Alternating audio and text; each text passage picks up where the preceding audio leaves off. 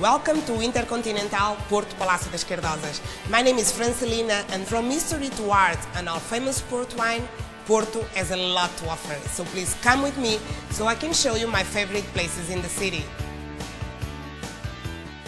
Around the hotel you will find everything. From bookstores to churches, cafes and monuments, it's all just a short walk away.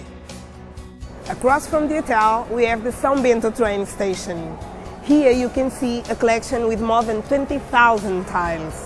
These tiles are so special because they show you scenes that tell us the story of Portugal. Right now we are in the Majestic Cafe, one of the most beautiful places in the city. The Majestic Cafe is the place that you need to visit because it tells us the story of the city, the Oporto of the 20s. Whether you are a book lover or not, you must come to Livraria Lello, Founded in 1869, it's considered to be one of the three most beautiful bookstores in the world. It's more than just buying or reading a book. Here, one reads art. Porto isn't just about the port. If you have the taste for history and art, then we've got you covered. As UNESCO World Heritage, Porto has plenty of monuments to be visited. Right now, we're standing at Palácio da Bolsa, one of the examples that we have that was built on the 19th century and that is now seat and property of the Association Comercial of Oporto. Next to each other, we have two perfect examples of the religious architecture.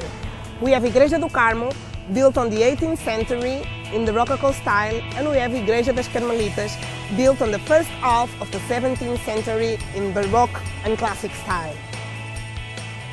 In the last few years, most of the art galleries settled in Rua Miguel Bombarda, turning this street into not just a street, but a state of mind. Once a month, the art galleries open new exhibitions simultaneously, an event worth visiting. Here, you can also find charming inns, eclectic shops, restaurants, tea houses, etc. The Ribeira, although touristic, cannot be missed. All kinds of restaurants and bars are to be found here. From international to traditional food, Porto is full of incredible restaurants. And if you're looking for typical Portuguese food, you need to come to Restaurante Adega de São Nicolau.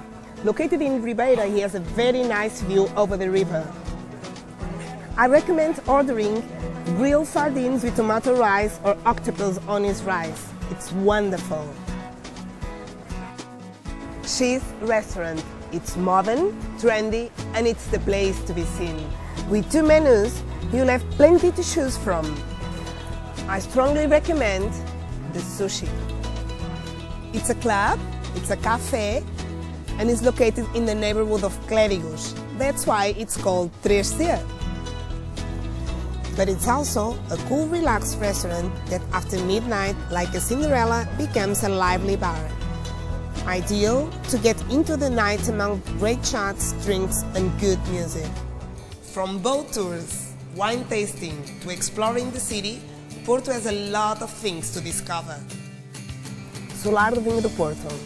The reason why I brought you here is because this is the only place in the city that you can taste all the types of Porto wine and all the brands too. You really need to come here ask for your port wine, relax and enjoy this amazing view. Another way to see the city is to board on one of the boats parked on the river. And for 15 minutes, visit the many bridges that cross it and get a sense of the road once traveled by the wine barrels. Hope you enjoyed to see few of my favorite places in the city. My concierge team and I look forward to welcome you at Intercontinental Porto Palácio das Cardosas. We hope to see you soon.